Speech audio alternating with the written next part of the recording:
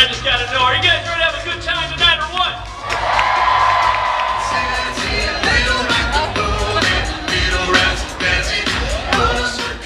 Is God breathed and is useful for teaching, rebuking, correcting, and training in righteousness, so that the man of God may be thoroughly equipped for every good work. Timothy reminds us that there is only one book that comes straight from God. B-I-B-L-E. His word, the Bible.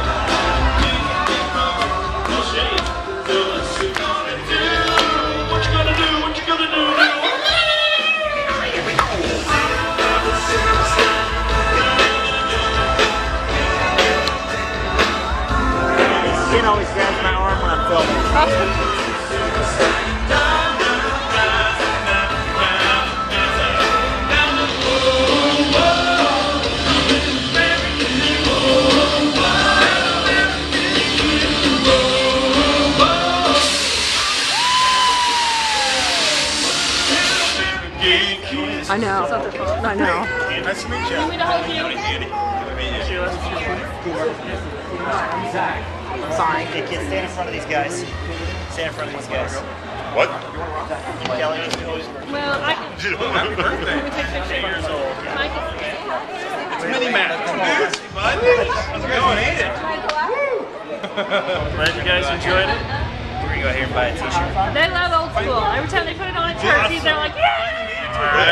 This guy, Well, yeah, the last time I think Mike we does. signed Give him up. Oh my god. The line for signatures afterward. T-shirt, ladies and gentlemen, you have something, whatever you want to autograph for anyone, okay? Because they don't have paper.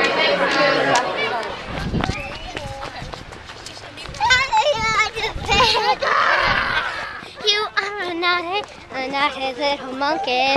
You are a naughty little monkey. What was it like to see the Go Fish guys? Oh, cool. Cool. On your birthday to see the Go Fish guys? Uh-huh. Wow. Hey, it's the next day after the concert now, and I just wanted to share a few quick thoughts with you about this experience. Um, this was the first concert my kids had ever been to, so in terms of a family event, this was a lot of fun for us.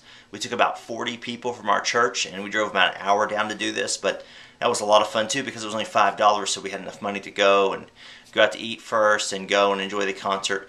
Um, overall, it was it was a fun experience because they played all their best songs. Right, it was all the best songs from the last several Go Fish CDs.